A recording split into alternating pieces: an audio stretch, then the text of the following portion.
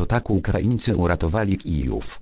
Nyt opisuje brawurową akcję New York Times. Ukraińcy zatopili wieś, by ratować Kijów. The New York Times napisał, że 25 lutego, w drugim dniu rosyjskiej inwazji, ukraińskie wojska celowo otworzyły tamę w Demidowie w obwodzie kijowskim, zalały najbliższą okolicę i uratowały w ten sposób Kijów, uniemożliwiając ruch czołgów wroga w kierunku stolicy.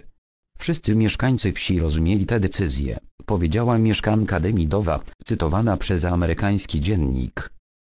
Powódź w Demidowie zablokowała północną krawędź Kijowa na zachodnim brzegu Dniepru i odegrała kluczową rolę w marcowych walkach, ponieważ siły ukraińskie odparły rosyjskie próby okrążenia Kijowa i ostatecznie zmusiły Rosjan do odwrotu. Wody stworzyły skuteczną barierę dla czołgów i skierowały siły agresora na znacznie mniej przystępny, gęściej zaludniony teren, do miejscowości Bucza i Rpienich-Ostomel.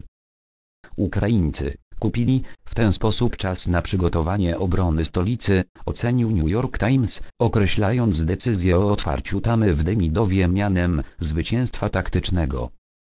Ograniczyło to również możliwość przeprawy przez rzekę Irpień, jeden z dopływów Dniepru.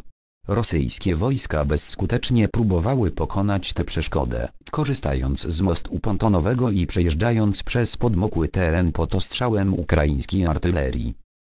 50 zalanych domów to niewielka strata siły agresora patrolowały Demidów, ale dzięki decyzji o zalaniu okolicy miejscowość nie znalazła się na linii frontu i nie doszło tam do masowych zbrodni na ludności cywilnej, przekazał amerykański dziennik. Wszyscy mieszkańcy wsi rozumieli tę decyzję i nikt ani przez chwilę jej nie żałował. Uratowaliśmy Kijów, powiedziała mieszkanka Demidowa, cytowana przez New York Times. 50 zalanych domów to niewielka strata, ocenił jeden z wolontariuszy, pomagających obecnie w osuszaniu Demidowa. Demidów jest położony w rejonie wyszogrodzkim, w pobliżu zbiornika kijowskiego na Dnieprze. Miejscowość znajduje się około 45 km na północ od centrum Kijowa.